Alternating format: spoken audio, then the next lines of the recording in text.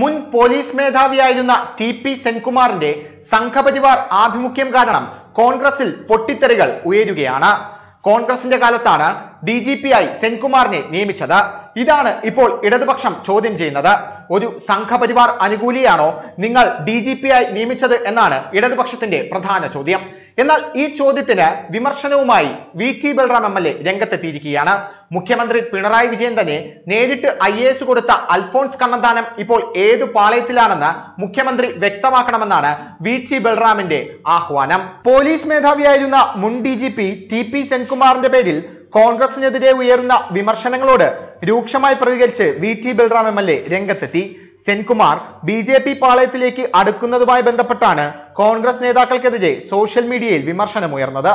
Police മേധാവി സ്ഥാനത്തെ ചൊല്ലി പിണറായി സർക്കാരിനെതിരെ സെൻകുമാർ കോടതി കയറിയപ്പോൾ കോൺഗ്രസ് പിന്തുണച്ചതാണ് ഇടതുപക്ഷം ചോദ്യമാക്കിയത്. സിവിൽ സർവീസിൽ നിന്ന് പിണറായി വിജയൻ നേരിട്ട് കൈപിടിച്ച് രാഷ്ട്രീയത്തിൽ കൊണ്ടുവന്ന് സി പി എം പിന്തുണയിൽ എം എൽ എ ആക്കിയ അൽഫോൺസ് കണ്ണദാനം ഇന്ന് നരേന്ദ്രമോദി സർക്കാരിൽ കേന്ദ്രമന്ത്രിയാണ്.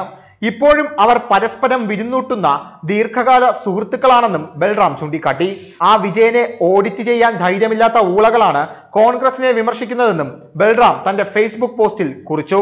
സിവിൽ സർവീസിൽ നിന്ന് പിണറായി വിജയൻ നേരിട്ട് കൈപിടിച്ച് രാഷ്ട്രീയത്തിൽ കൊണ്ടുവന്ന ആളാണ് കണ്ണന്താനം ഇയാൾ ഇപ്പോൾ ബി ജെ പി പാളയത്തിലെ കേന്ദ്രമന്ത്രിയാണ്. ആ വിജയനെ ഓഡിറ്റ് ചെയ്യാൻ ധൈര്യമില്ലാത്ത ഊളകളാണ് സർക്കാർ പണമെടുത്ത് സുപ്രീം കോടതി വരെ കേസ് നടത്തി ഒരു പോലീസ് ഉദ്യോഗസ്ഥനെ പീഡിപ്പിച്ചതിനെതിരെ അന്ന് പ്രതികരിച്ചവർക്കെതിരെ ഇപ്പോ ഓഡിറ്റുമായി രംഗത്ത് വരുന്നതെന്നാണ് ബൽറാമിന്റെ ആക്ഷേപം. റിട്ടയർമെന്റിന് ശേഷം അയാൾ പറയുന്നതിനും പ്രവർത്തിക്കുന്നതിനുമൊക്കെ ഉത്തരവാദിത്തം അയാൾക്ക് മാത്രമാണെന്നും ബൽറാം പറയുന്നു. പക്ഷേ ത്രികാലജ്ഞാനം വെച്ച് അത് മുൻകൂട്ടി കണ്ടുകൊണ്ടാണ് നിങ്ങൾ സർവീസിലിരിക്കുമ്പോൾ അയാളെ വേട്ടയാടിയതെന്ന് പറഞ്ഞാൽ അത് അന്തംകമ്മികൾക്ക് മാത്രം വിഴുങ്ങാൻ കഴിയുന്ന ന്യായമാണെന്നും ബൽറാം വിമർശിക്കുന്നു.